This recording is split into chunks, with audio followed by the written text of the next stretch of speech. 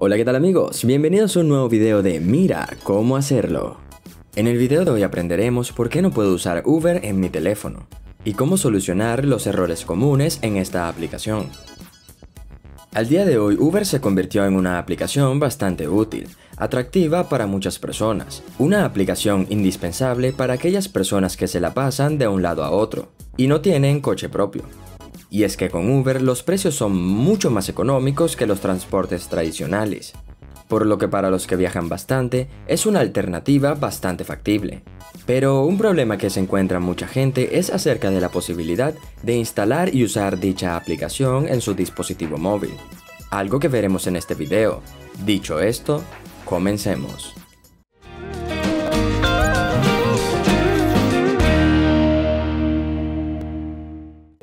Pues bien, lo primero que debes tener en cuenta es que como todas las aplicaciones, es necesario cumplir con una serie de requisitos, ya que de otra forma no vas a poder usar dicha aplicación. Pero bien, un problema que se encuentran muchísimas personas es acerca de la versión de Android, ya que Uber funciona con Android 4.1 o superior, por lo que si tienes una versión de Android anterior, esta no va a funcionar en tu teléfono.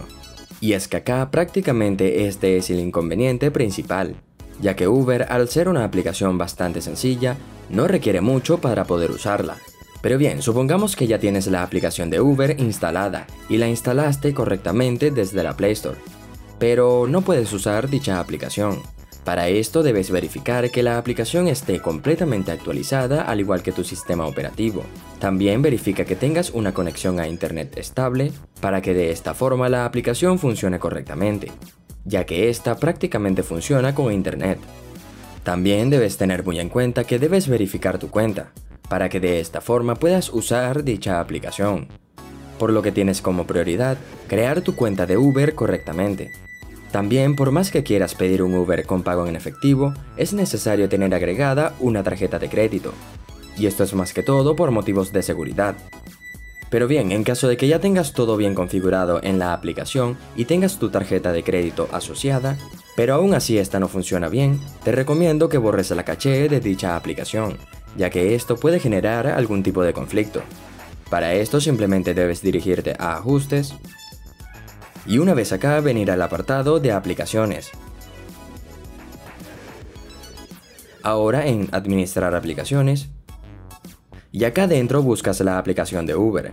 En mi caso no la tengo, pero también sirve con cualquier otra aplicación. Ahora lo único que debes hacer es darle en limpiar datos, limpiar caché y listo. De esta forma lo más probable es que se solucionen la mayoría de los problemas.